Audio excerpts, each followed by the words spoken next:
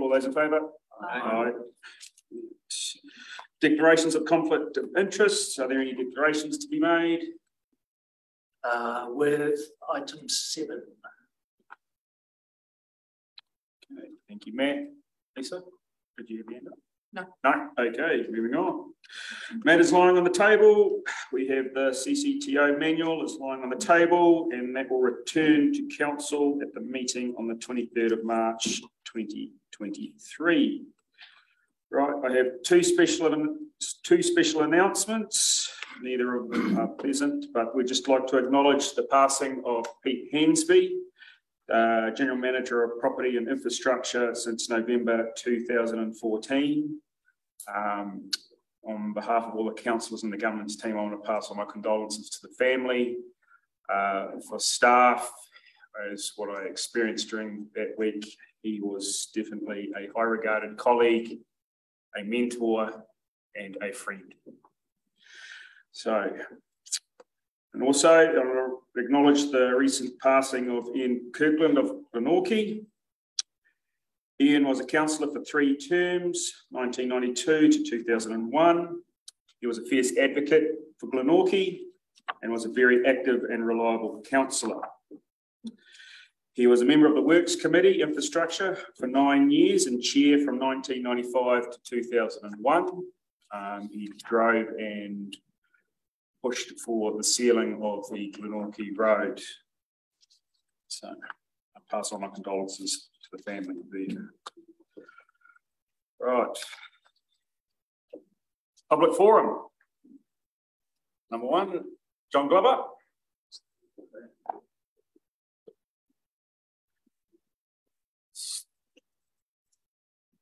You've three minutes.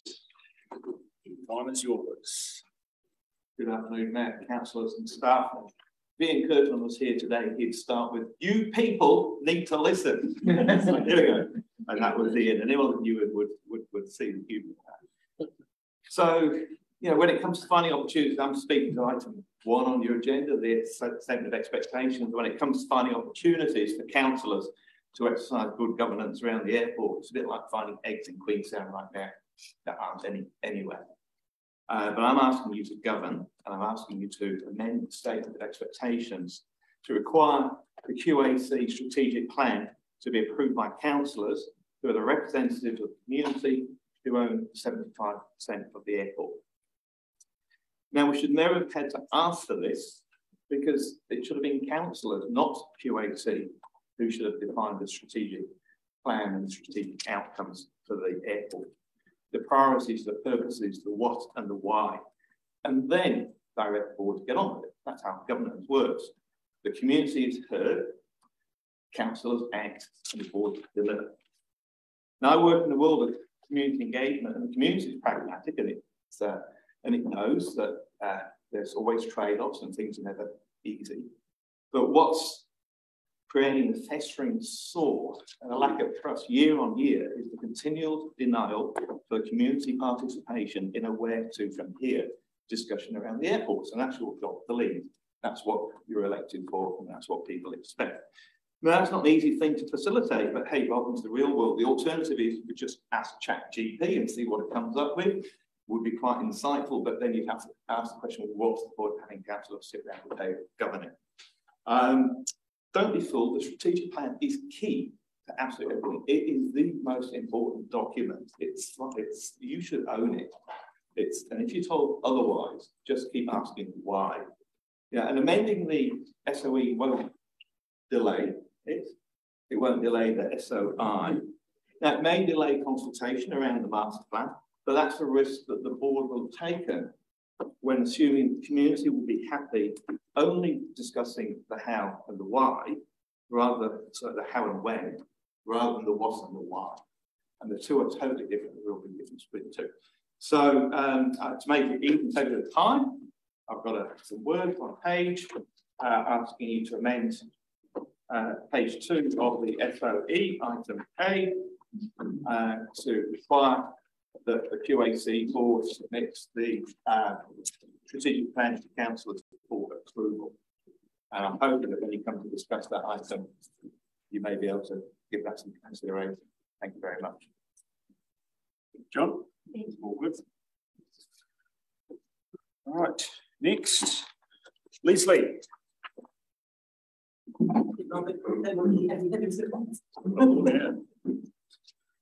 Same again, three minutes. What yours? Um, thank you, everybody, for this opportunity to speak today. Uh, my name is Leslie Van Gelder, and I'm speaking uh, as co-chair of the Southern Lake Sanctuary and also chair of the Glenorchy Dark Sky Sanctuary. Um, and I'm speaking about the destination management plan and want to give my enthusiastic support for it um, from our sector because I think it's an extraordinary first step for the district and the boldness of the projects that have been proposed and the actual story of people coming together to work on such a complex um, question and one that's so important to the district can't be underestimated. So just to remind everybody that the process, um, I think I was involved in it all the way through. It was long and consensus is a difficult thing, but it's remarkable how far it's come. To that end, now I've got three recommendations because I can't leave without them. Um, the first is that speaking to Project Nine, which is of course the, the big project, I'd like actually the council to consider being bolder or to project to being bolder and to making a full circle of regenerativity and to look at the idea that all of the carbon that we sequester, we sequester within our own district. We have the conservation community to achieve this. We would be the first place in the world that could achieve the circularity. And for us to do that, that would make us world class. Um, so we can figure this out. And once we do that, we're a model to the rest of the world. So I'd like to encourage Project Nine to be bolder and to be truly regenerative because it will also regenerate um, in the economic diversification space our economy that we are growing in the environmental space. So let's link those two things up. To that end, my second recommendation is that it's time that we have a, a working group for um, Te Taiao for the environment for council. Too many of the plans require knowledge of the environmental sector in this district, a sector that was not visible five years ago and is now one of our largest areas of growth. And it's really important that all of these different plans, whether the spatial plan, whether um, the DMP, whether the economic diversification, they require the interweaving of that knowledge of the people on the ground who are doing that work now. We have the equivalent of the Council of the Elders and Kāi Tahu, and council should consider um, making that a working group to help all of those strategic areas flow together better, because we can think better about ecosystems and ecosystems people. My final point is wearing my dark skies hat, as most of you know, we're trying to get dark sky sanctuary. Um, and in the plan, and because I'm from the Northern hemisphere, this stood out to me. Um, our carbon zero is not our North Star, it's our Matariki.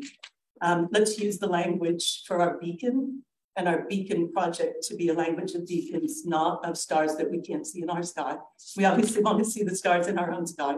Um, and so it's it's a small thing. Obviously, everyone saw it and either looked at it and went, ah, I know what that means. But we can use our own stars to guide by, and we should. Um, so thanks very much. Thank you, Leslie. Thanks. Pierre.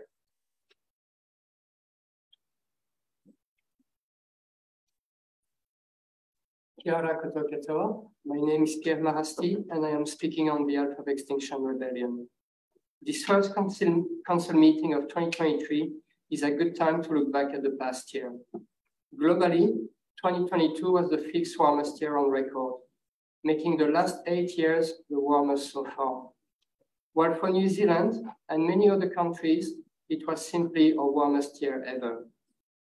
Our ocean temperatures were the warmest on record too, which contributed to the record floods we experienced both here and around the world.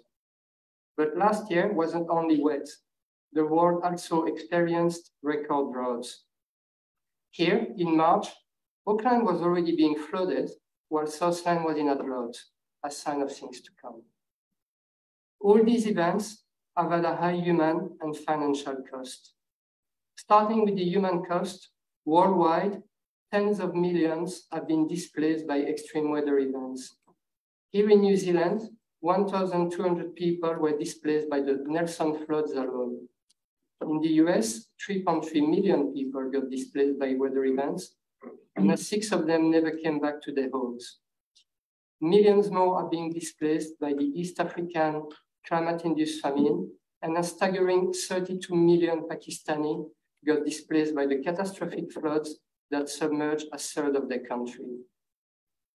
Sadly, last year, many simply died due to the consequences of climate change. Financially, 2022 was the costliest year so far. The direct economic cost of extreme weather events is estimated at 360 billion US dollars.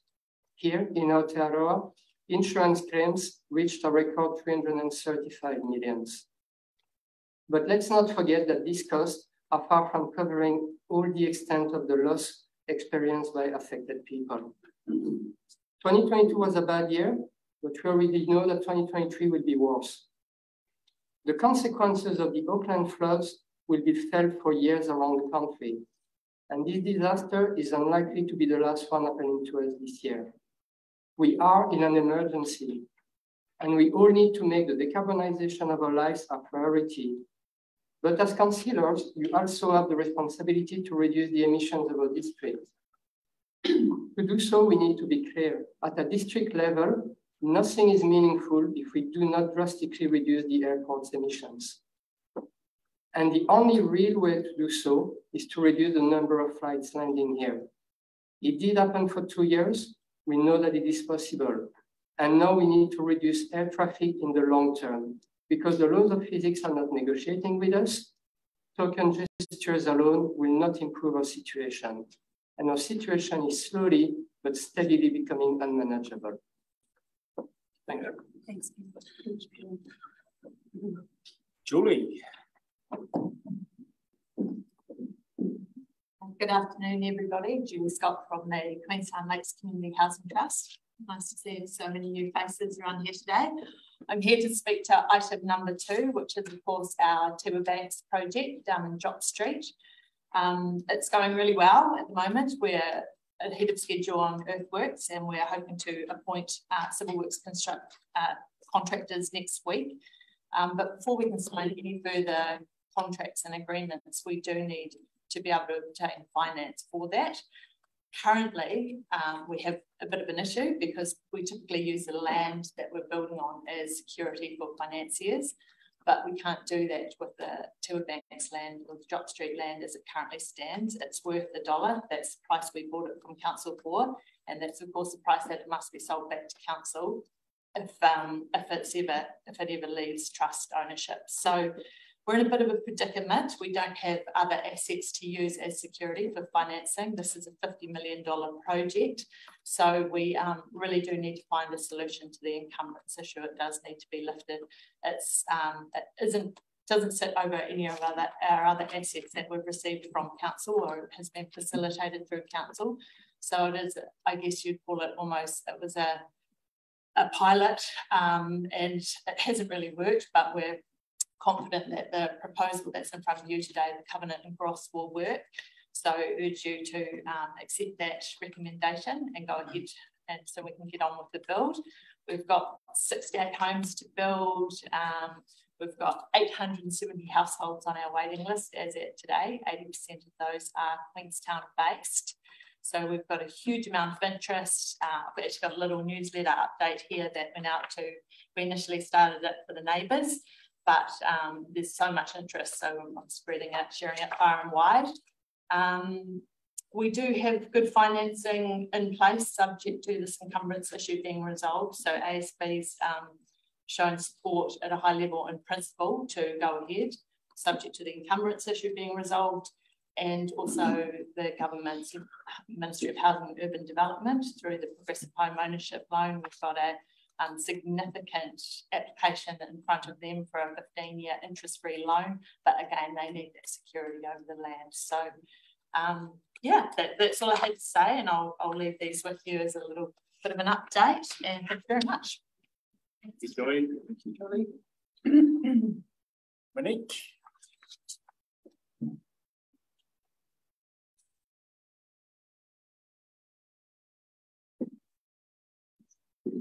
Everyone. It's so wonderful to see so many new faces around the council table as well. And I have not been in here for a bit, so it's great to see. Um, I'm going to talk to the DMP from the 2030 decarbonisation plan. So putting it in context of where we are um, at the moment in history, it's like as if we're on a jet boat and we're currently going at speed on the lake in this big body of water that's called the universe.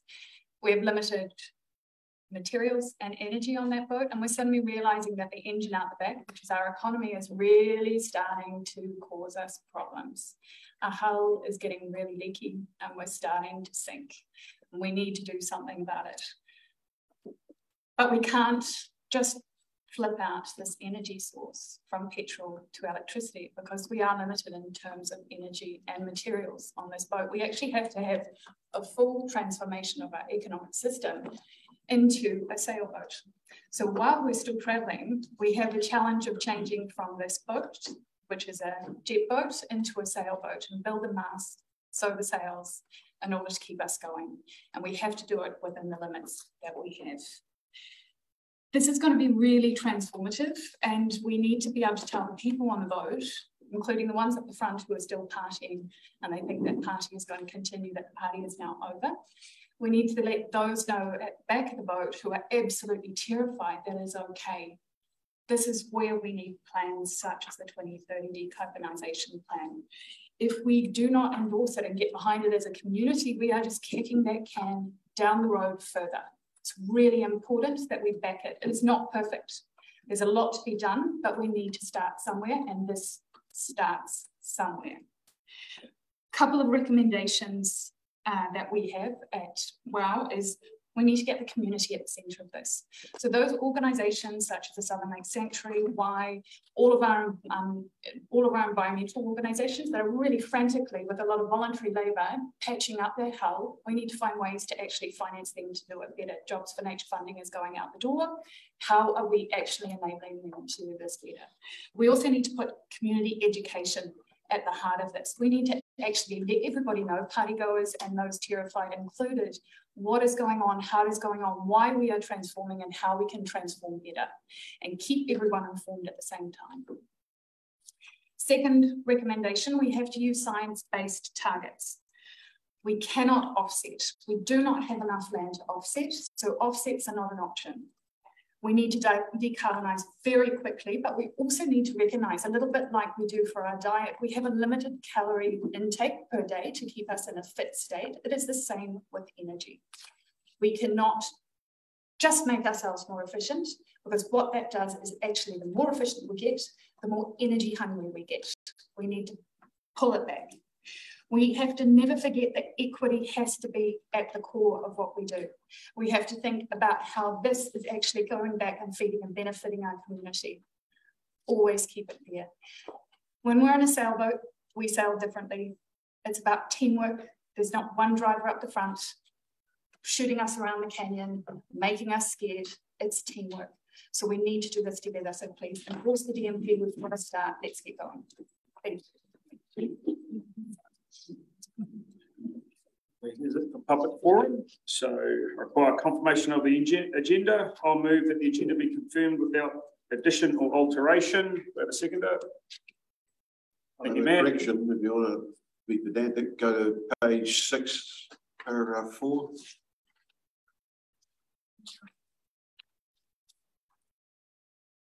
Paragraph four, page six. Frederick Conklin. Mm -hmm. He's beam scooters, Malinga. It's the minutes. Well, it's the minutes. Oh, so what do you do? Approving the agenda. Oh, okay, sorry, no, no, I've got to hit myself. I get, get him before everyone else. I Okay. So I read the minutes. I've moved that the agenda be confirmed without additional alteration. Matt has seconded. All those in favour? Aye. Motion carried. Right.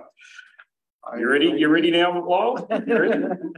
Confirmation of minutes ordinary meeting of the council held on the fifteenth of December, twenty twenty-two.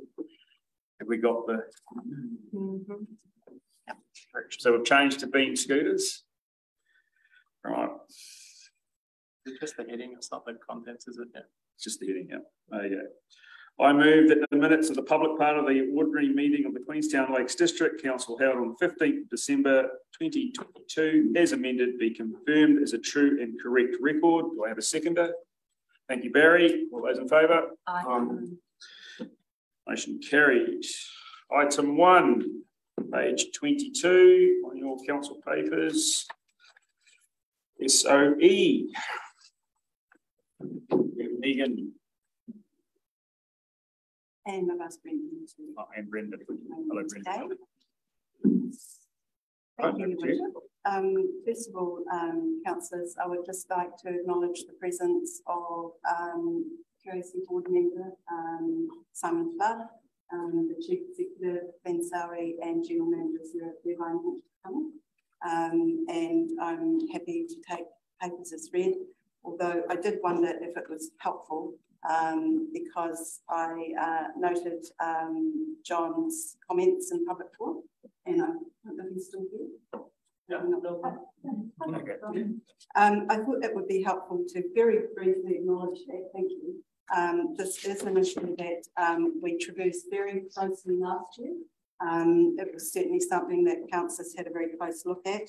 And um, long story short, um, the QAC uh, basically outlined uh, very clearly uh, their responsibilities under the uh, multitude of acts that they need to adhere to, um, the um, consultation that they would need to undertake that goes above and beyond community consultation, such as with the airways, such as with their tenants, etc., etc., and uh, and clearly outlined to this council a year ago uh, why um, they needed to lead that consultation. But as you'll see, and as you'll know, councillors, in the statement of expectation, we clearly do outline our expectation to be firstly um, uh, to have uh, feedback sought from QLDC on that master planning process and, uh, and that once the process has been undertaken with the QAC, uh, by the QAC,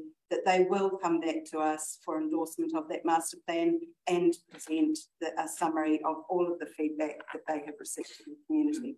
Uh, so um, it may not be the silver bullet that uh, John was seeking today, but um, this council will be very closely aligned with that master planning piece. And other than that, I am happy to take the paper as read. Thank you. Councillors, questions? Go for it, Lyle. Yeah, just a question and then, then I'll make a comment. Um, I just remind me here the involvement of AIL, AIAL, uh, in the statement of expectation, they're shareholder, they, they've been involved or No, this is our statement. do they do expectation. one? Uh, I don't, They, they've chosen not to in the past. Okay. Um, but the law actually doesn't actually really very well recognise where there are multiple shareholders. But, um, we, we took some advice last year and, was- and have determined that we're entitled to make this statement on our own. We have provided it to the AIAL as courtesy. Okay, well, I support the uh, statement, just my comment, um, and on talking about the governance side of it, you know, we are governance for a council, but uh, we engage a board for the QAC and that's their governance uh, body. Uh, so we're the shareholders, we put through the statement of expectations, this is my understanding, the board will produce their strategies and that, and for the CEO to go over on and develop a master plan, which we just heard we're going to be uh, actively involved in. So I support the statement of the expectation. I do, getting down into the noise, the editorials, when this is an official document, we tend to, uh, might seem minor, we, we, we use QLDC and council. Uh, we don't use a standard term throughout the document. One minute using QLDC, next council, and the same with master plan. One minute it's master plan, two words, and then it's only one word.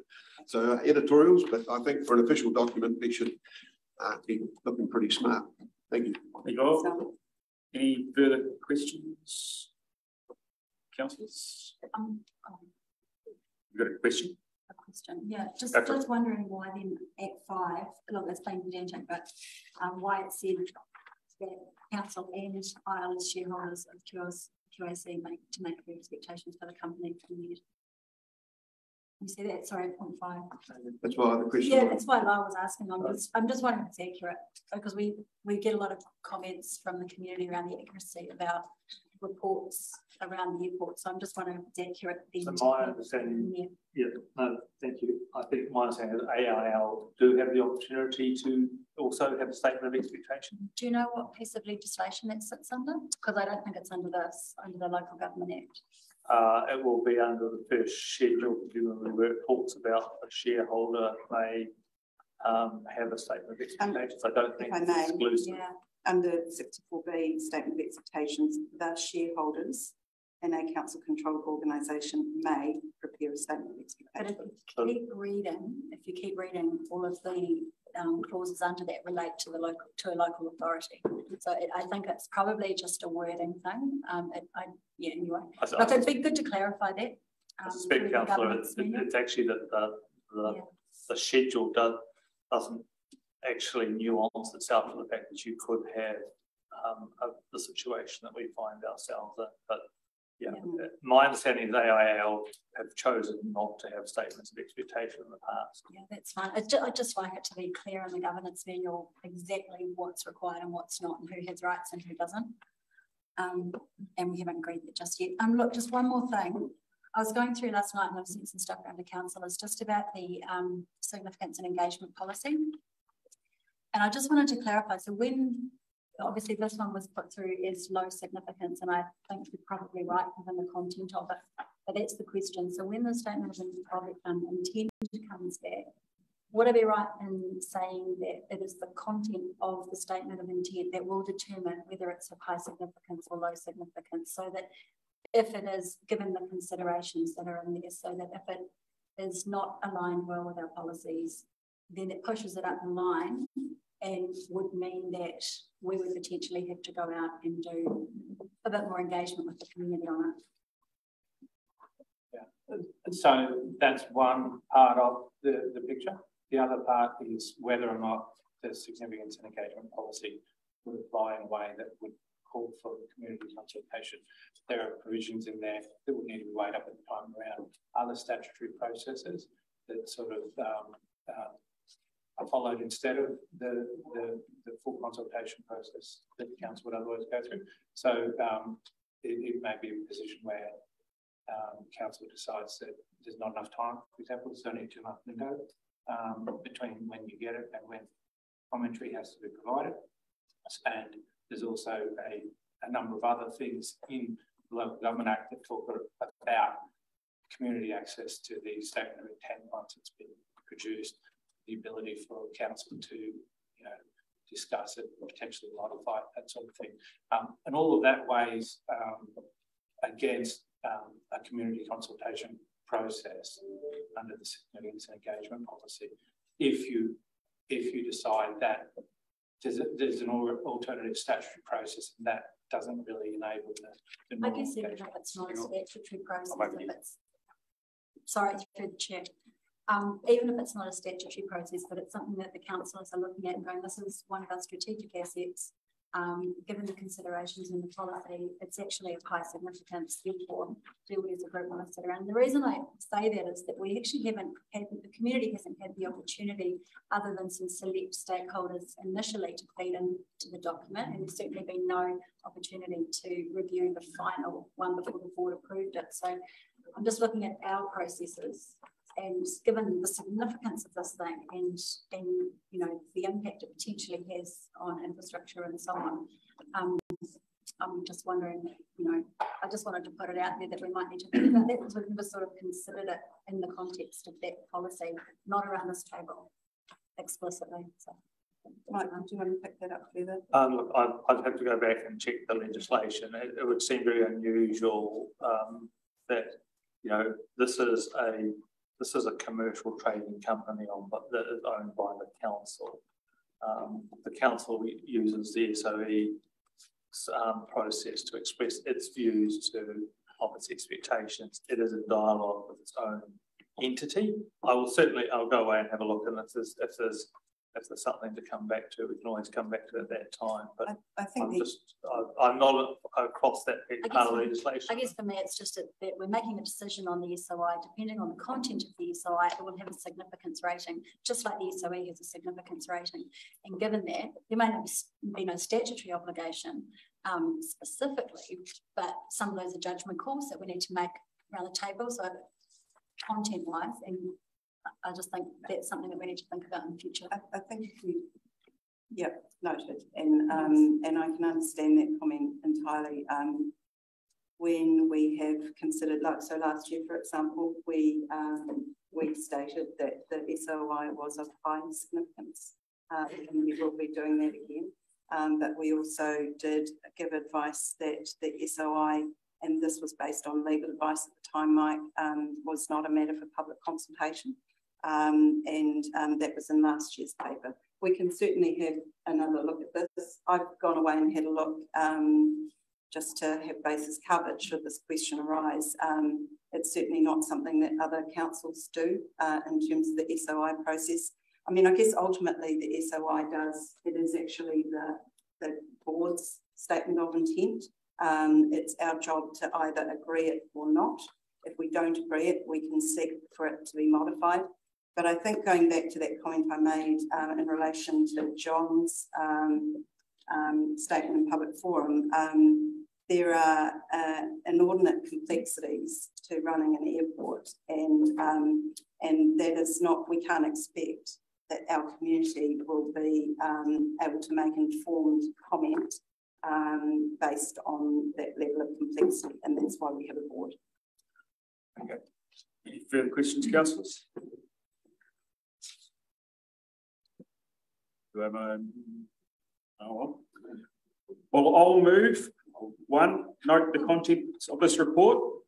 Two, approve the Queenstown Airport Corporation Statement of Expectations twenty twenty-three. And three, authorise the mayor to sign the letter, the le- the letter on behalf of the council. Do I have a seconder? I'll second. There we go. We have a, we have a comment? You have a comment? Excellent. Glad to hear a comment. Um, look, I think just, just to answer the point from, um, our staff, um, you're the strategic, you've got to get the, the difference between the operational and the execution of the strategic goals and the, and the, and the strategic goals themselves. To me, when I read the strategic plan, the goal is to, to grow to meet demand. It's a key assumption, but it's also the goal and around that a- another lot of objectives that need to be achieved. And that's to me for us to set and then how the airport goes about that is, is the board's job. Um, and look, there's a big discussion there to have about do we want to grow to meet demand? And to me, it's a huge elephant in the room because we haven't had that discussion with our community. And at some point, very soon, we need to. And I'm hoping it's the destination management plan that triggers that because there are discussions in there around capacity. Um, so yeah, I'm grateful for that. So I just wanted to speak to that.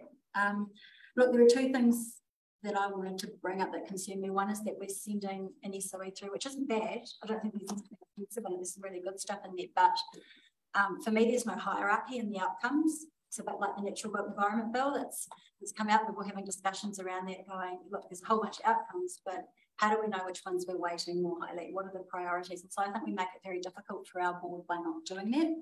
But to do that, we have to have that big discussion. Um, the other issue that I wanted to, I just wanted to speak through for the board, and I, the board's obviously not at the table. Um, No, you can't. But there are a couple of things I just want to clarify just for councillors and my meaning um, around it. So um, we've got some points, sorry, I just need to find them. Um, so at B says the plan must align. Hang on, councillor. Questions are over. This isn't questions, I'm speaking to it and I have five minutes. Are you asking questions? I'm not asking someone? a question, I'm just clarifying my position. So what I could do at the moment is I could go through and I could make a bunch of amendments on the wording in there because I don't think it's clear. Um, I just want to be clear for the board what I mean and for the, the councillors and for the record what I mean. Um, it says the plan must align um, with the outcomes um, in the plan and the destination management plan. Um, so for that, I think there needs to be a carbon accounting assessment of of the master plan before it goes out for consultation. I think our community needs to understand when it looks at the master plan, um, what the carbon footprint is and what carbon emissions that are enabled by the growth of the terminal. So if that's happening, that's great.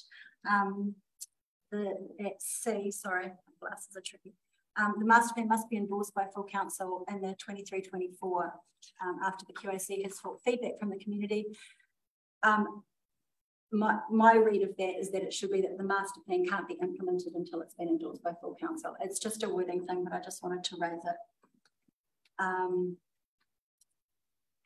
and the last one is at D, where it says council would like QAC to also include an understanding of its oversight of aviation emissions. We had some discussion, and look, my interpretation was that we would like QAC to report on the emissions enabled, so report on Air New Zealand and so on aviation emissions.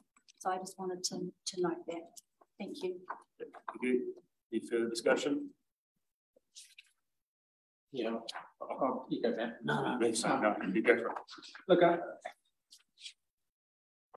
this this issue has become a battleground over the last couple of years. I don't think this is the the battleground to die on today, and I think that we are in a, a place where um, that this new council are getting their head around um, this issue for them for the first time, and we're doing that in a productive way. I think this SOE reflects broadly the the what we're asking um, of the the QAC to present in their SOI. We will have an opportunity to get in front of the board, which is actually really important, and the um, some of the QAC when they present the SOI to us, which I think is a really important step for the new council, and um,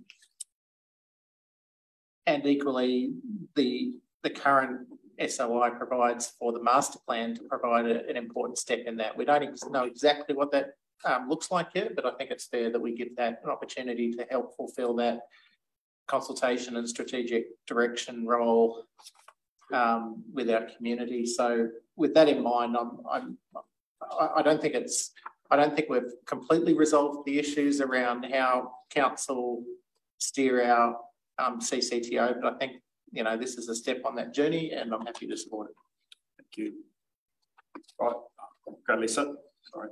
Um, I'd probably just like to offer some assurance to our community at the level of engagement and discussion and reading and back reading and round, around the table we've done with this and every topic in relation to the airport and how seriously we're taking it. And we talked at length this morning around um, the principles of good governance being um, determining the purpose of our um, air transport network and that our community is well served by a future-proof um, air transportation network that serves our region well.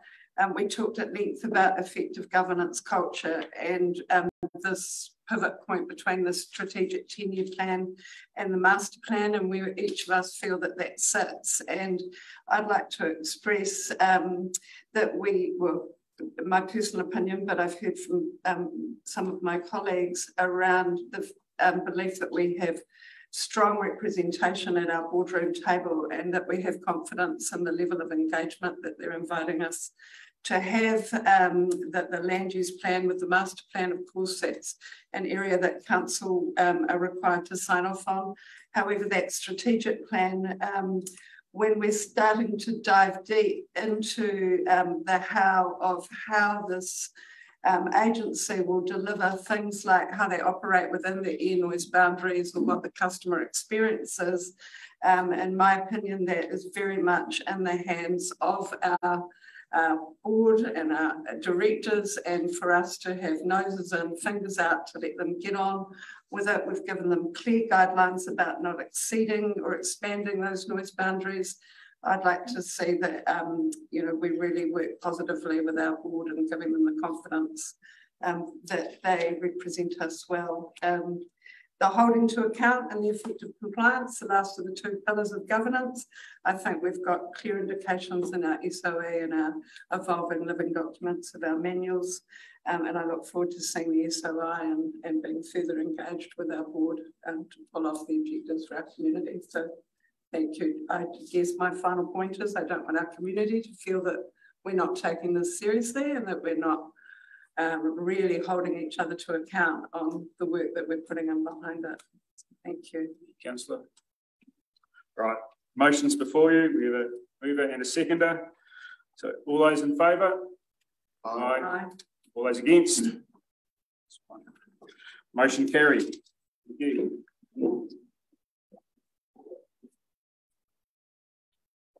Item two, Jopp Street encumbrance, page twenty-eight of your papers. Do we have before us? Michelle.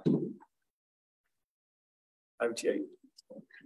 Okay, um, I'd like to take this report as read. I'm joined by technical expertise of Anita Vanstone, our strategic growth manager, and general counsel, Brendan Peat. Um, in principle, this uh, this report is effectively asking for an in, in, principle agreement to continue. There will be detailed work that needs to follow this um, that's going to need some careful attention. Um, so this would not be the end of the story, but it would set us in the direction to recommend. All right. Questions, councillors? Um, yeah, so I'm just, I'm just in the extra discussion because I just had a few thoughts around will we be limiting the borrowing given the risk? Just, just as a question, don't need to answer it. Um, will we require any sort of oversight over the building to make sure the management of it is keeping within their boundaries? Um, and can we help them if they look like they're about to default? and see some, is there a facility to, to do that?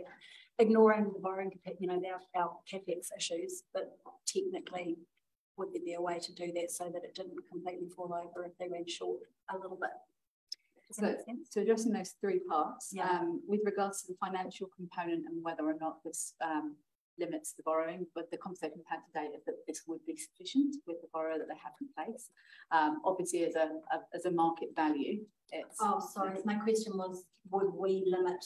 So would we want it to go beyond 50? If, if the lender would go beyond, how comfortable are we having it extended out to 60 million, say? Or do we have an interest in keeping it at a level where we can manage the risk too? And Mark, Mark needed, I think council basically having taken the step, um, you know, I think is looking at what, what, what is the potential level of risk. There remains a risk. The ultimate um, fallback position for the council is to acquire the property um, back because we have an obligation back to the Crown as a result of, of that. Um, we would never allow that obligation to fall over, so we would find a way to do that. I think uh, uh, where we have confidence is that we're minimising the risk and that the, the, the trust is a you know a, a, trusted partner in terms of executing its um, its work. So I think we would have. Um, I, I, don't know that we would seek um, any explicit uh, limitations on their ability to do this, uh, and I would would hope that um, if, if, there's if there's a message that needs to be there that this this borrowing should be focused on actually delivering on key events, not being borrowed for anything else, then one would expect that the bank wouldn't count them with that anyway. And it's great. And uh, with regards to the ongoing management and maintenance needs, there would be enhanced monitoring that we'd need to conduct on the site to make sure that, that this continues to meet the requirements of the covenant. Oh, that's great. Look, and I look, there were questions that I raised just so just to see if they were front of mind and just through the rest of the process because I think we need to manage our risk as well. I'm fully in support of doing this. I just think we need to do it very carefully and make sure they have the capacity that they need to make sure this comes so especially in the climate that we're in at the moment um, and things are escalating. I just think we need to be careful. Thank you. Just a couple of quick questions. Um, just following on from that, are, we, are they comfortable with the land value being enough security for a $50 million loan? That's what that's the advice we've received at this point in time. I mean, as we go, they haven't got a, they can't get a valuation though, so that's sort of a. You have an answer on that one? They don't. I, I don't. Um, I guess it's a it's a question. It may restrict their borrowing. So yeah, fifty million might be an aspirational if they haven't got the security for it. So I think this will come to fruition as we start to work up the terms of the covenant specifically and the tripartite agreement, and then we can continue the conversation with the trust and with the uh, lenders to make sure that we've got all those details um, now, I assume the uh, 50 million, uh, that figure they keep putting, they put in there, or 68 houses, that must, the 50 million must go to uh, putting in the streets and that too, because that's a lot of money for 68, 68 houses. Um, and then you talked about uh, a question about uh, affordable housing, tightly defined. Has that been done yet? No. No. And that's part of the work that needs to follow. Okay. This, this paper is about testing your appetite to increasing the risk slightly around this. Um, and if you give us in principle permission to continue, that's a piece of work that next follow. Okay, thanks. Mr. Any Further questions? Just a, a perhaps a note to councillor Cox, obviously, as, as you were inter, interpolating. Uh, there is a lot of, uh, assets that go in there, so actually, um, part of the security we exercise is the value of the assets we can get back, should that have to come back to us yes, in the future. We build the asset base. Absolutely, yeah. Yeah, thank you. Mover Comment? and Clinton seconded. So any further discussion? Brilliant. So one, note the contents of this report. Two, confirm that council agrees in principle to removing the encumbrance and negotiating, negotiating an updated co- covenant includes first right of refusal to council if covenant breached or the finances exercise power of sale, which can effectively balance the objective of delivering affordable housing against the risk and costs of loosening the strict controls currently in place. Three, recognise that without removing the encumbrance, it is unlikely that the Queenstown Lakes Community Housing Trust can proceed with the development of 68 affordable homes, the jobs homes in the Jopp Street in the near future. Four, recognise the risks associated with removing the strict encumbrance, noting that these can be managed by the proposed covenant. Five, instruct council officers to draft an updated covenant that provides QLDC with the first right of refusal if the financiers exercise power of sale and or the land stops being used for affordable housing. Six, delegate to the chief executive the authority re- to remove the encumbrance and negotiate, settle the terms of and execute the covenant and tripartite agreement on behalf of the council. We have a mover, we have a seconder. All those in favour? Aye. All those against? Motion carried, unanimous. Well done, councillors.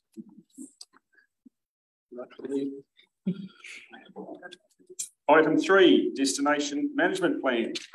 Michelle states, but Um, I just welcome to the table, um, backwards and Buck from uh, National League Exec of, uh, Destination Queenstown, continues to Exec of Lake One Tourism and Chair of the Saga Conservation Board.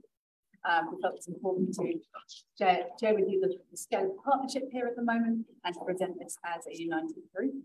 Um, this is the result of approximately three years worth of work. Um, and I think it's important to acknowledge that Peter Harris is coming today, who is just a piece of work from the council side of things. Um, effectively, we're asking you to endorse this plan. I feel like I'm bringing this back to earth with a bureaucratic bump following Monique's um, beautiful metaphor earlier. um, but essentially, we're, we're, we're seeking endorsement to be able to progress this plan, to work it into more detail, to pull together the right teams we need, and to pursue some pretty significant funding to make some of this work happen. Um, from the council perspective, it's a key deliverable that was mandated through the spatial plan as a priority initiative as part of the Grow Well Whaiora Partnership. Um, Kāi Tahu are heavily involved in this work, as is the Department of Conservation. It's very much about taking a systems approach to tourism as opposed to an industry or sectoral approach to tourism. Um, and it's about creating a movement, generating momentum. Um, you'll notice that the Keystone project of decarbonisation by 2030, that's actually only 2,882 days away from now. So there has been some progress being made capitalising on the momentum of the work so far in shaping up Project Nine and really looking at the scope of it and what that's going to entail. That has so far involved a line by line assessment of all of our um, emissions as a district, the good, the bad, the ugly. We're including aviation, we're not shying away from anything at all. Identifying some gaps and some ways that we could move forward with this work. So it's already in train to a degree um, around that piece of the puzzle. Um, we've taken the view that decarbonisation is essential if we're going to achieve regenerative tourism. Uh, there are lots of other key themes addressed in this work. Uh, the community is at the centre of this. It's been a, a very significant community engagement process. Um, and obviously the environmental concerns are enormous in here. It's taking quite a broad span. It complements the economic diversification plan. Uh, we want the economic diversification to reduce our reliance on tourism as time goes by, and you'll be getting more details of that over the forthcoming months. But in the meantime, we need to use our dominant industry to drive significant change, massive change in the district. Um, and that's the opportunity that this work, I think, is seeking to pursue. Um, and hence the recommendation. Does anyone have any questions? We'll go with Lisa and, Nikki. Go, Lisa. um, I think the plan's looking great and it probably centres around this, giving it some teeth around funding. I'm looking at project 13 and project 17 and wondering if there's sort of a smush there um, around visitor levy and originally we targeted just that showing impact back on infrastructure, but we're really wondering whether there can be some tie back to our workforce housing and the conversations around developing that project 13 and the visitor levy. Um, you know, I think we could quite easily draw some evidence around provision of a visitor room targeting back to the need for a working room. Um, so just whether we can sort of think with Project 13 and Project 17 and, and partnership somehow. I think there's a lot of synergies across the board in some of these actions, and it's a really fast-paced space. This, I think, in the course of the time we've been working on this plan, we've written three completely different plans and been on quite a significant journey. Um, and as this housing challenge is coming into play as well, it, it's essential that it's woven into this. Housing, transport, and decarbonisation go hand in hand. Thank you. Thank you. Um, question, first question that I had last night was, um, this is a plan and we're endorsing it. It doesn't give it a lot of teeth. And look, looking at it, I, I can either choose to really cynical about it or, or, or to absolutely love it. I absolutely love it. I think we need something like this. Whether it seems realistic or not, I, I, I love it. Um, I, because of that, and because I want it to have teeth, and I want it to inform our other decisions. I would love to see this as a strategy or policy. The moment we're endorsing a plan gives it no teeth at all. So do you have any thoughts around that? Um, Mike may have some suggestions potentially that could be adopted rather than endorsed. Well, I mean, I think again, it's not our plan per se. It is that it sort of sits somewhere um, um, remote from the council. We're, we're a key part of it. I think endorsing it gives it uh, is the right position for us to to, to I was going to say to adopt. Um, it's a lot of times. Um, look, I, I, think the commitment for us will largely be in how we go about actually participating in its delivery. Um, and, uh, you know, the, the work, uh, the collaborative work that's already going away, particularly on Project 9, you know, very much got QLDC, uh, the RTOs at the, at the centre of this discussion. I don't know that we honestly don't know that we need to do much more than what we've done at this point. I, I did think it's also part of the spatial plan. So in terms of having teeth, it's it's also reported up to that governance structure up to ministers.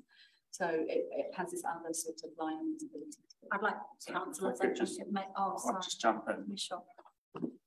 I think from a personal point of view, if we show leadership in this space and really drive it individually as each councillor here sitting at this table, I think we, no matter whether we endorse it or adopt it, I think we can drive this plan to a great height and really force that change that this district has called out for and that we can really, really aspire to. So whether it has teeth or not, I think that depends on each and every one of us sitting around this table and driving it to that action space.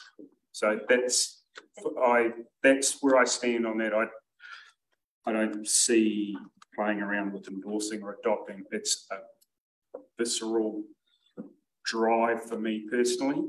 And I, as a, as a leader of this district and as you are leaders of this district, we have to drive it. Just, just if I can finish on that, and look, I really appreciate that, and I agree with you. It's just that council processes are council processes, and when we consider levels of significance, we look at our strategies and policies and we look at alignment. And when we make a decision, we're then forced to look at that alignment. And if it doesn't align with the DMP, we have to go out for consultation.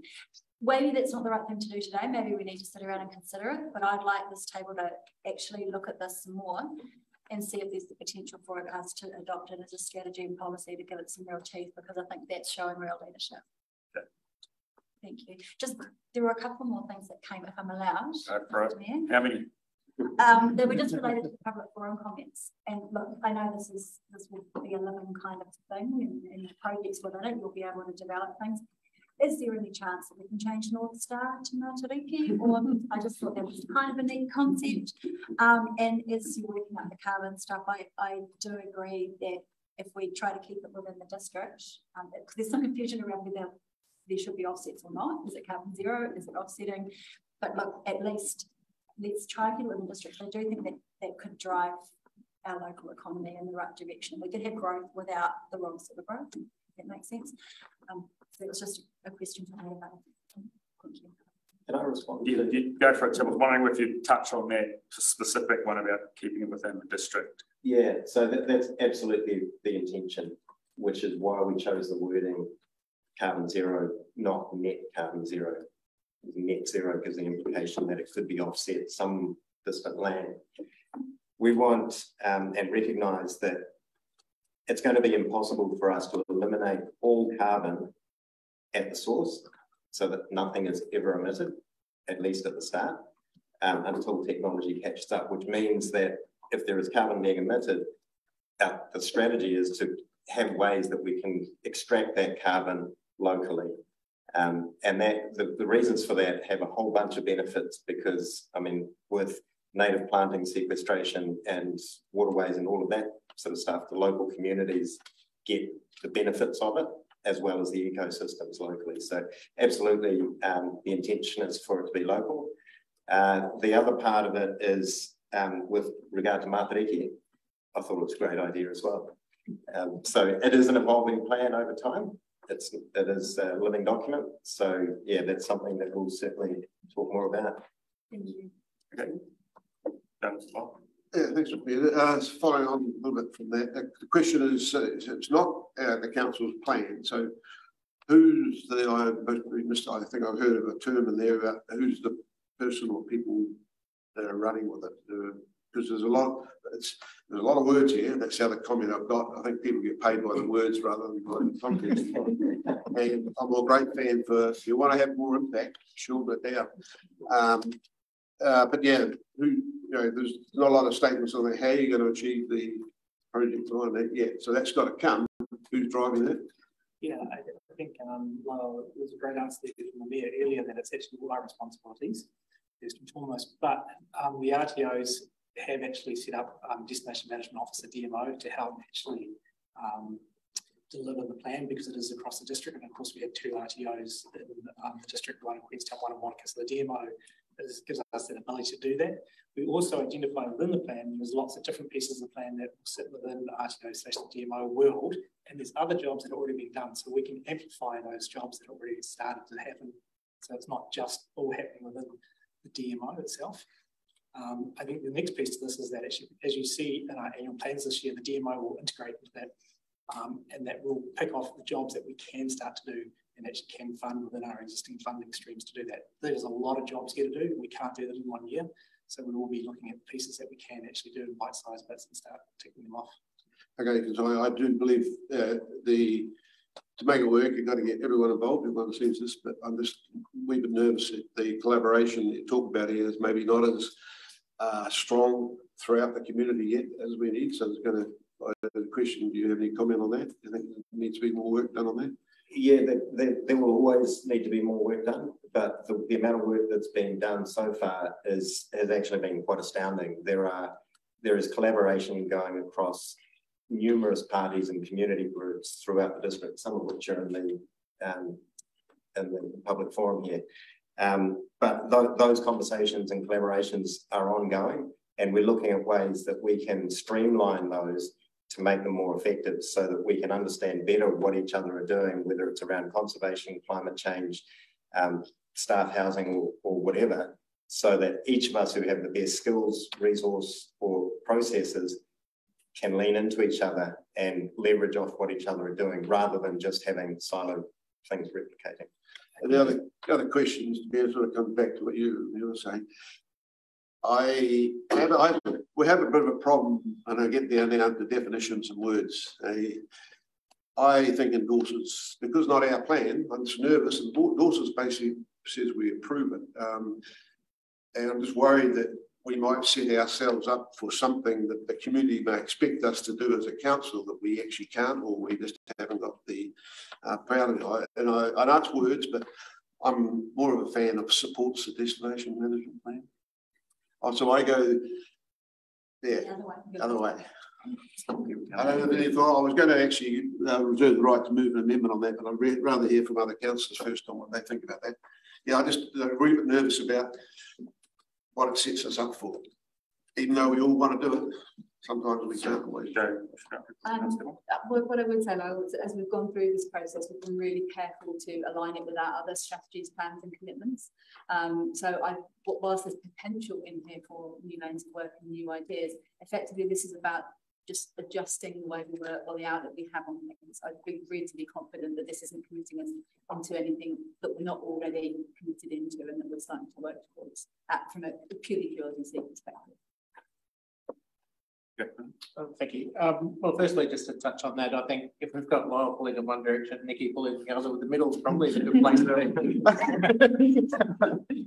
So, um, secondly, um, you know, good work on this. It is a, you know, a step and there's a lot of work to follow. And I want to acknowledge that, that, that how this is implemented is more important than the plan itself. And that's the, that's the mahi that yet is yet to come. So um, take the mayor's point on board that we we're all need to own it. We all need to um, drag it forward. Um, I was just interested in one, you know, talked about words and language, etc. This economic leakage was sort of a new um, concept, I suppose, but just love you to speak to that briefly. And um, yeah, So economic leakage, um, there's a term that we look at is how can we fund this district that is actually spent here? Um, and obviously we have um, ownership of, of various assets and infrastructure that could be owned offshore or booking agents that are booking. So are they, is that money being spent back in the district? Are they using it to help us with our um, Project Nine carbon zero goals? So you could be a company offshore, but if you're actually using those profits to benefit us within the community, that's a good thing. But if you're taking all your profits offshore, that's leakage that we want to you know, ensure that we don't have that. So ensuring that we can keep as much money So it's about making sure we see as much of the benefit of the industry and the opportunities for regenerative tourism as possible from the, from the market. So, yeah. I appreciate that. Um, sounds like a useful concept. And um, yeah, I could work on the what you've done so far. Uh, just touching on Lyal's concept, I, you know, I think we need to understand how much of your membership um, you have support from in this moving forward, but it doesn't change the fact of what we're before us today. So, so thank you. So, I think using Maverick is a great term because that really is the rallying cause. We have used the Middle Star and we should actually use the Southern Hemisphere um, cluster, so that makes good sense. The membership has been really behind us. We've been quite surprised. In November, we socialised the concept, um, and in fairness, we um, we were just blown away with actually the support. You know, we thought we might have actually going to use eggs thrown at us, but there wasn't eggs because we've got an egg shortage. So that's the reason. But um, it was it was accepted um, throughout the membership. But more importantly, it actually rallied outside tourism. And I think that's the really cool piece about this is that the spillover is more than tourism. So although tourism is actually the um, you know, the backbone or the big piece of GDP here in the economy, it's actually reached other pieces of the industry within the Queenstown Lakes, which is the exciting piece of this. You want to move? Brilliant. So what the recommended option? Oh, I would like to move more, but I think we'll stay Okay. in the middle of it now. So we have a mover. Do we have a seconder? Barry, well done. So one, note the content. I would like to say thank you for six questions, and I've got more to say. I want to say thanks. I really want to say thanks. I was a part of the climate movement group, and you know we had a draft contract that I didn't love, and um, you guys came to the party. It is really it blew me away. Um, look, I, setting aside the you know everything's not perfect and it's a plan to make plan and and so on and so forth. It, it took such a giant leap. Um, and look, at, yes, I, I totally take on board um, Professor Higgins' comments, and um, in, in the CRG's comments, but I think everybody's looking to take a leap forward. Everybody needs a bit of inspiration, otherwise it's just all too much. So um, look, I, I hope we can all get behind this because it's absolutely brilliant. Thank you, Michelle, for everything you've done as well. Um, thank you, gentlemen, it's been, um, it's fantastic. So um, I just want to say something else. What was it? The reason I love it, this is the important bit. The reason I love it is you've actually touched on optimum visitation levels and you're talking about capacity and you're talking about leakage, starting to talk about the things that we actually have to talk about. And I'm really hoping that this will, from this will springboard to a conversation that the community needs to have about visitor numbers and levels and what's right. Not we hate tourism, we love tourism, but a more sophisticated discussion around what is right. Um, and if we can get there, you will have achieved massively. So thank you. Okay, I'm going to put it to the vote. One, note the contents of the report, and two, endorses the destination management plan for the district. All those in favour? Aye. Aye. All those against? No one. Thank you. Thank you. Thank you. Item four, page sixty-two. Retrospective approval of remuneration authority submission.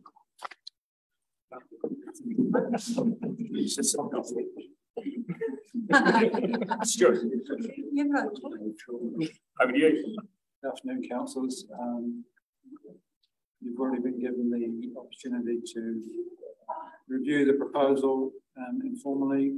Um, this is a procedural item. And, um, Rem Authority has received our proposal on the 26th of January. So I'm happy to take questions. Questions? Want to comment? I just want to make it very clear that there's very little room to discuss anything else anyway. The, the amount of money available has been set aside or set, and the, the pro rata rates on how it's distributed has basically been set and agreed by the, both by the remuneration authority. So we, we don't really have much room to move on it anyway. Okay, it seems to me. But the question why, no, the question why, why did we didn't get it in earlier? Why didn't we, we missed the first determination? How come that happened? The, um, we need the, we need all the positions of responsibility identified. And there were some discussions in the council and there around the number of committees. It Wasn't resolved until December meeting. Different. Quick question. To stop that happening ever again, is there a process that we can put in place so that when, once an election is finished and we have our members, that there's some sort of procedure that we go through that things get ticked off and, and done so that it never happens again? Is that possible? Um, Chuck it on the list. I can't guarantee that, but um, it's much easier when you've got a returning mayor and a bulk of returning councillors. For example, the, the previous 2019 election, we had it all resolved. Oh, sorry. I should be clearer. What I mean is it wasn't obviously flagged up as a thing. So is there some process that we go through when we get into council um, that these things need to be done? So be, be, be you know, keep them in mind. Do we have that procedure and can we just well, this to the list? Yeah, I think we know we need to do these. I mean, I think, um, you know, in, in, this circumstance, in the previous um, directions by the Rem Authority, the timing that we adopted wouldn't have been a problem. Um, for in terms of setting anything. What this has done is a, is a change in the way they interpret it. As Stu said, uh, I think if, if um, you know, we're very much at the direction of council in terms of the timing in which they seek to make appointments. Uh, if that happens quicker and it's obviously generally quicker with the returning council and the returning mayor, then that's something we can do. Uh, we can you know, expedite, I suppose, is the, is the word. Okay. Well, the question was, um, according to the street, it had to be in by 27th of January. Well, we're still talking about it now. So we submitted the proposal. We had a workshop on 26th. Oh, that's what we did. It. Yeah, okay. Yeah. It, just, it would just be you know, nice if it could be flagged up for the mayor so then you can make a choice about whether um, whether they wanted to delay and people would miss out or not. Because I know one member was appointed quite quickly, although not officially, and there were sort of duties begun, but then so the remuneration. It's just to make sure it doesn't happen again. Thank you. I mean, look, there's things that clearly need to follow up behind the scenes on this. I don't think we need to wash the, the laundry and dirty in public on this, but there is absolutely no question that this council should have approved the rates earlier than this, at the very least at the fifteenth of December. And, um, you know, that is a big disadvantage of a number of us, so that's all I can say. Do we have a? Nikki, seconder, Gavin. So one, note the contents of the report. Two, agree the remuneration rates for councillors of the Queenstown Lakes District Council for the period following the 2022 election to 30 June 2023 as follows. A, Deputy Mayor, 56,308 per annum. Committee Chair, 52,675 per annum. And Councillor, 45,410 per annum. All those in favour? Aye. All those against? Yeah, motion carried. Thank you, Stuart. Five. Page seventy-one on your papers, Otago Regional Council RPS renotification of freshwater planning instrument submission for retrospective approval. Alison? Um, Luke will speak to us. Thank you. was, uh, so I'll be speaking to the item um, on behalf of Jean. So as you probably will know, the the Otago Regional Council Regional Policy Statement is a, is a reasonably important document for our district. Uh, we have to amend our plans uh, to make sure that we give effect to it and our resource consent decisions also have to make sure that they have regard to it. So it has some significant implications for the way we manage our resources in the district. So the submission outlines how we generally support the, the freshwater instrument provisions, but yeah, we request a number of changes and amendments. And those are generally summarised in the submission, but happy to take any questions um, on those. Questions, councillors? I'll move. Oh, yeah, your second. I'll just say thanks, thank you for addressing the allocation issue. and Thank you. Okay, so one, note the contents of the report and two, approve retrospectively the contents of the proposed regional policy, policy statement re-notification of the freshwater planning and planning instrument submission. All those in favour? Aye. All those against? Motion carried. Six, Chief Executive's report. Over to you, Chief. Thank you, Mr Mayor. Um, so councillors will see the, the four items there and um, happy to talk to those. I know that I know that Councillor Gladding has raised an email earlier uh, today on the triennial agreement and some additional wording there. Um, and, and I, I, do wonder, uh, Mr Mayor, if we just go through these item by item, uh, there may be some questions on the Wanaka asset sale reserve as well. So happy if, you want to take any questions, perhaps on the triennial agreement first. So, so you want to speak Yeah, thank you. Um, look, it's I've sent an email around to councillors. Just last night I went and had a look at the um, Canterbury Mayoral Forum's um, way of doing things, and it seemed to me that it was an awful lot better than the Otago Mayoral Forum's way of doing things. Just a lot more advanced in terms of transparency. It's great that they've got a website. Every submission, every report they do is up on the website for the public to see what they do, for the other councils to see what they do. It looks like um, agendas and minutes and reports are proactively shared with the rest of the table, which I think is really important through the three waters. Um, you know, it was, it was kind of difficult to know the positions that were being put forward. And it may be that there was nothing going on that anyone didn't want to go on, but it would have been nice to know what was going on what was being said. So I just think given that we're local government, we have an obligation to be transparent in everything we do. Um, the Local Government Act mandates specifically um, that, that the mayors kind of get to do this stuff on their own. So I think in principle, we have to make sure that we know what's going on and that we feed into that, that process. It's a great group, like we need that advocacy, but I think it needs to represent the table and the community rather than just the voices of the people that are there. So I don't know what I don't know what the answer is because there's a lot of different wording and obviously the mayoral forum's already everyone's agreeing their piece. I, I think for me internally, because I think our one sort of suggests that um, the individual councils can decide how the information from that forum is distributed. I'd like for us to agree officially that, that the minutes and the agendas and so on come down to the rest of the councillors. You can engage with it as much as you like, but at least we have access to that information like all the councillors in Canterbury do. Um, and then I think it would be nice if, if the mayor could sort of maybe mention to the mayoral forum that there might be some room for improvement and how could they look at doing that so that the public could see what they do. It might make it a stronger route as well. I'll take that on board. Um, my initial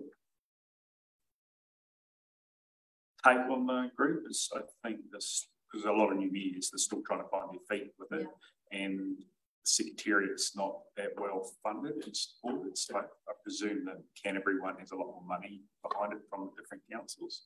so yeah, um, yeah, I can easily share them. I've only had one agenda sent through okay. to me. So I just wonder, wonder if we could make a place on our website um, for you know that sort of thing, and then the public can have a look if they want to. Not many people will be interested, but it's sort of a conduit to what's going on in Central sometimes, I think. Uh, there is, uh, there is actually, I thought there was actually an Otago Mayoral Forum website. It may be a very simple blank page. I. I didn't find it. Um, because uh, I know that that's been discussed, and um, if there is that, we could just provide a link from our own website to that website. Um, you know, I, I, think you know we. I don't think there's. Um, we have been as a as CEs advising the the uh, the mayoral forum have been uh, encouraging that to produce like a, a, summary of each meeting that it can be circulated back to council so all councillors can see the same thing. So I think you know those sort of suggestions that you highlighted in your email are, are something that could easily be um, could easily be picked up and done. happy to either for Glyn or myself to take that back to the mayoral forum and I can report back. That'd be great. Okay. Yeah, I, I, I totally support what I think he said, and I think anyone can start to set the agendas and minutes would be great. Okay. Thanks, guys. Any further questions? Just a, um, a comment uh, on the funding for the conversion of the former Mike 10 building and uh, the additional million dollars that's required out of the assets um, uh, sale reserve fund. Um, it probably would have been good if that could have been put past the Wanaka up and include the community board before it was um, approved. Um, if, if, if this is delayed, is that going to cause any problems? Um, I think it will create some risk, but if council wants to send it back to the upper, the community board, um, that's certainly its choice. I think the recommendation from staff will be exactly as you have it uh, in front of you today. That, that was a position that was discussed with the community board uh, and, and with council it was sort of the agreed intention. But yes, it, it will create some risk because we won't have all the funding in place. We're about to receive the tenders, but um, we can work around that. It will just create a little bit more delay by another six weeks. Yeah, I well, yeah, I have a question. I, I I think it has to go back to the community board, I think. Uh, I wasn't on the community board that discussed it previously. Um, and we also need to see what are the options. This is one option. Uh, if, if, there wasn't any, it wasn't a community asset reserve fund, what would we be looking at? Um, and we've got to be, careful here. We've got to be consistent. I don't know if Queenstown has an asset reserve sale fund. This, this is coming out of Wanaka money. Uh, and you could say okay, what happens when we want to put a building on Ladies Mile down there, community building? Are you going to take it out of the Queenstown Asset Reserve Fund or are you going to go to the annual plan and all ratepayers and district pay for it? So we, uh, you know, we've used this fund a couple of times now to fix up gaps like the Luggate Hall, which I argued against in public forum. Um, and I'm not saying we don't do this, but I think we need to set out the community board with, with a couple of options so that we say, and the implications of it, and just keep in mind the big picture when we're looking at other uh, spending money on other community facilities in the district from now on. So perhaps I could comment with respect, um, Councillor Cocks, the decision about the direct funding, i.e. the million dollars and the covering the grants is a decision that has already been made. So those commitments have been made. Yep. Um, the, the only, this, this change was uh, a, a, different mechanism. So whilst it, it uh, draws down money from the reserve, it also seeks to pay that money back. So it's simply a funding mechanism rather than an additional amount of funding from the community.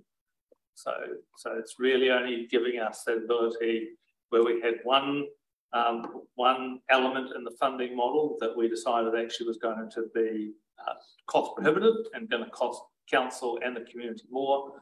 Then um, this interim one was uh, this was a solution to enable us to get there and to be neutral to uh, both the Scurr Heights Fund uh, and the community at large. Okay, I can, I can speak to that too. I mean, I agree that, you know, we agreed to fund a million dollars into the thing, but just the sports facilities are district wide rated for a reason. They, they spread the cost across the um, the district. Um, you know, it's I, we're we're between a rock and a hard place now because you're saying we're either facing a delay or forced to agree this today, and that's a Clayton's decision for us today because the process should be that it, um, you know, that the the board had oversight over that allocation, um, and equally, I think as Lyal said that the options, including funding it from rates district wide, have to be presented to us as an option um, for us to make the call on. Now we know the situation's difficult in terms of moving forward on rate pay on rating funded investment, but we need to to know that. So, just sorry, so when you say us, who do you mean? Well, I know the council know that we're in a difficult situation around funding in the next annual plan or no, no, no, no, sorry, I'll back it up. When you say us, with regards to looking at the options. Well, well, the, the community board need to have that option in front of them so they can understand whether to allocate or to recommend that money from the, I said, the decision sits with council, but the practice has always been that that fund has been largely at the discretion of the community board and um, and but equally we can't afford a delay. I mean, this this project has been delayed and overrun on and on. We need to get it delivered. So I'm, I don't know what the answer is unless we can commit to um, funding it one way or the other and having that discussion on the side so that we work out where it comes from. I mean, there's no question we have to fund it. The question is, where does the money come from? So uh, we need to allow that to play out. Just a, just a quick question, the committee board meeting on the sixteenth, could, we, uh, could, is it too late to get it on that agenda? That shouldn't be too late to get on it. But, but the next like... council meeting will be the end of March. So you, you saying that the community board hasn't got the delegation to no. use that? Okay. The community board has the delegation to make a recommendation to council on how that's used. I go back to the point though, that we're not talking about core funding. That has been no, agreed. No, we're, talking about, we're talking about how we're actually bridging the gap by using a journal entry um, use of a reserve that actually gets repatriated back to the community. So we can't do the journal entry from somewhere else. But that, but, but it's also money that won't be available from the asset fund close to 10 years, depending well, no, scale. Well, I think that again, you know, I think you look at look at this practically. This is a this is a um, management entry by the council. The opportunity is there for the council should something come forward from the community board. And you know, in the, in the time I've been here, the community board has been very careful about releasing funds from that. And clearly, we would address that if something came forward that would actually draw down that nominal fund. So I don't think you should, that that's not um, a, a, the basis of being concerned as I said, I, if council wishes to take it back to the community board, well within its ability to do so. But we can't do that without a delay, inherent delay. Well, we can't do that without an inherent delay, but e equally, um, we'll be working with whatever tender we've got. Um, and it may be that we're not in, we don't have the, at that point a position where we have the funding secured. I suggest if we do this, that we issue an official sort of apology through this to the community board for not allowing them to exercise the delegation. It's just a, we've, we've come under flack for not, um, you know, maybe giving them sufficient power and, and we do things like this. Even though it's a mistake, it's intentional, I would have loved to have gone through them first. I just think it, it pays to recognise that if it goes through. Um, I don't, well, I don't know if we, the community board needs an apology. It's really the, the visibility to the public of what's going on and uh, understanding the process. So I know I don't want to hold the project up. I understand it's loan. I hear what you're saying, Mike. Um, I do think we need to message this through to the other community board members and to the Monica community what, what it actually means. Did anyone email through? Did anyone get a sense from the other community board board members? Although, Barbara, you you were in the last community, well, well, we, Through this was decided or, and, and in some way in the last community board, so we don't want to be, you know, re, what, litigating all the time. Yeah, I don't think we better comment on behalf of the other board No, members it's without that Sorry. information. I'm it up to the of councillors to. Well, I-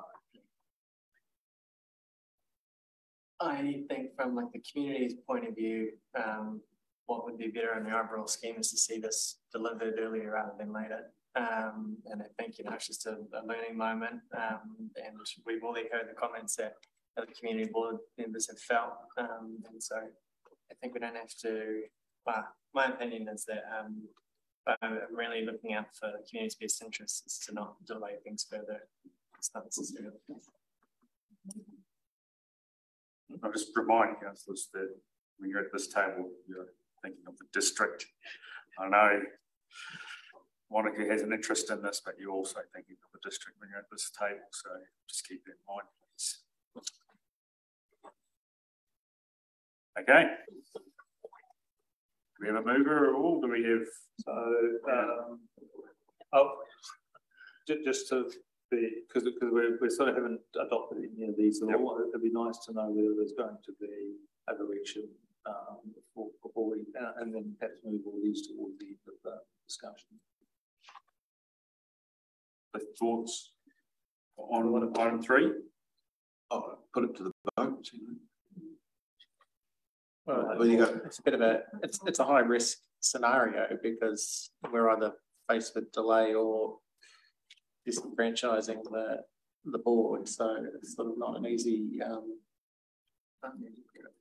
um, situation, I, you know, I mean, I, I, I went- back to the point I made before is that our sports facilities are intentionally rated district-wide to spread the load across the district. We, you know, Wakatipu residents recently paid for the Luggate Hall um, with a contribution by the community board from the, um, the fund.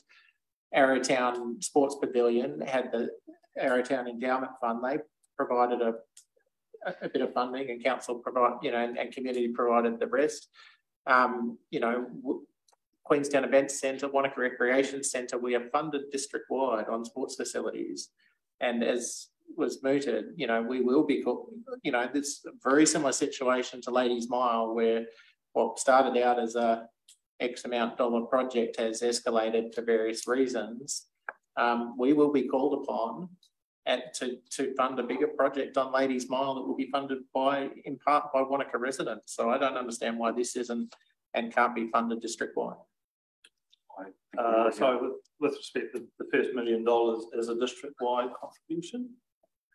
That was a, that was what the council put in the AP. But what we're Yeah. talking about is, is we're talking about their different scales. So there is already a mixed funding model here. And council and community board have already contributed to that. That's right, that's a million and, we had that nine hundred thousand and we're still working as a contingency and we're still working through to try and conclude the last of those, um, those grants so that actually that's not a drawdown on the fund line. So.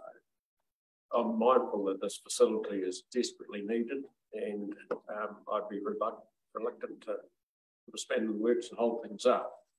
Uh, but if we're going to move forward, I think it should be with the proviso that in the future, if there's any um, use or of that reserve fund, that it's well signalled to the, to the Wanaka Upper Clutha Community Board in advance.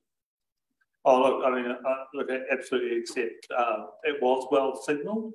Um, there was a workshop that was well considered. I Uh, it don't, I also- don't think that's accurate, to be Hang on, hang fair. on, hang on, hang on, that's, that's my understanding, councillor, uh, and I've seen the workshop, uh, material that was used. Um, the council, what, what ha- didn't happen was it didn't go forward and get formally ratified by the board at the time. So acknowledge that that was a, was an error, but, uh, the matter was well canvassed. So just to alleviate your fears, councillor, if we added another note in there to say council will note no further drawdown on this, on the reserve fund. Uh, on the provide, unless there is a recommendation from one of the community board. I'd, I'd be happy with that. Can I just one more question? Sorry, I, through the chair. Um, just, um, where, where, where are we repaying this from? So effectively, it'll be be paid, um, it'll be repatriated from rates over time. So if, if it's, if it's returned from general rate, then we're effectively having an argument about nothing, just the delay in time. That's, well, no, it's, it's, no, I, I think that the issue more, to be honest, more so for councillors is the principle that this has come without And having that. formally gone through, but there's no, In terms of the there's no cost loss or no impulse on the, on the And it's not specific to one. The difference is you you're you're effectively having a, an interest-free loan from the fund versus a, a debt-funded um, million dollars under the, other council. That's the difference. So the, the, the, so the repayment will be, have to be put into the long-term plan. So we will progressively repay that into the. Okay. Before we vote, is there any other questions on items four and five?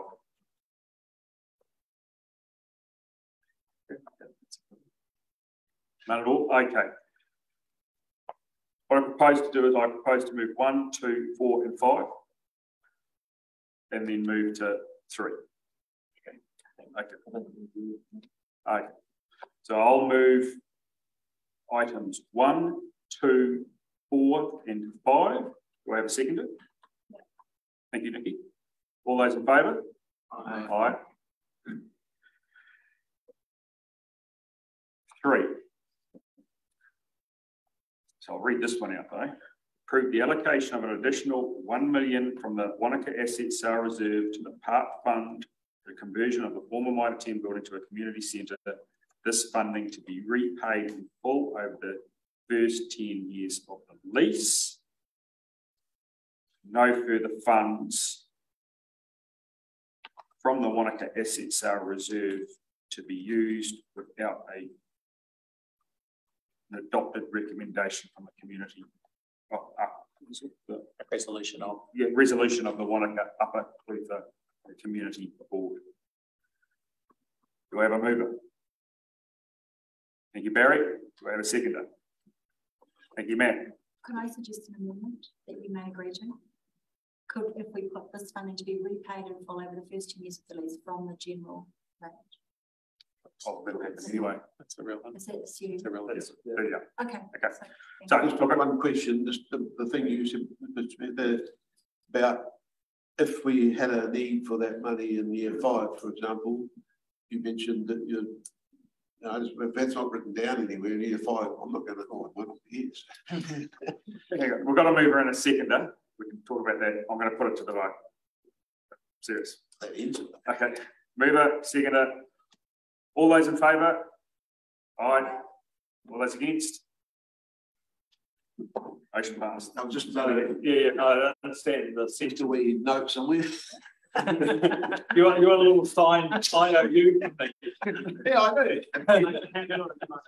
Right. I'm, I'm yet to see that, I'm yet to see. Councillors, see, Calling that debt. right. I move, You know where you live. hang on.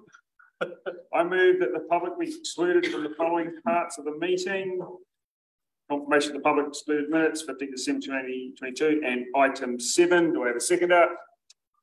Thank you, Nikki, all those in favour? Aye. Aye.